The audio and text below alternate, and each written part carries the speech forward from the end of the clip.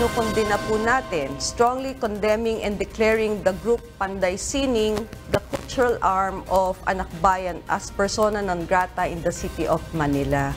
Vice Mayor Hani Lacuna together with Mayor Isko Moreno Dumagoso announced last Friday a resolution submitted by the City Council declaring Panday Sining the militant group liable for vandalizing the Lagusnilad underpass in Manila as persona non grata.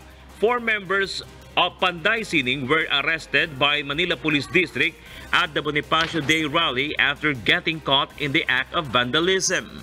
But Panday Sining, in response, said the City Council's move is a clear violation of their human rights.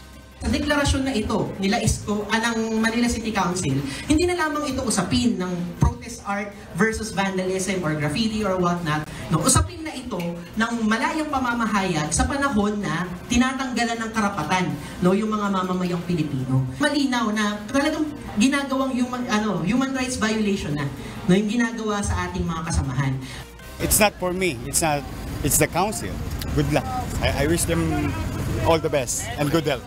The militant group continues to call for the release of their arrested members. It can be recalled the city mayor had repeatedly warned the group they could be sanctioned for vandalism. Bernard Dadis, UNTV News and Rescue, Manila.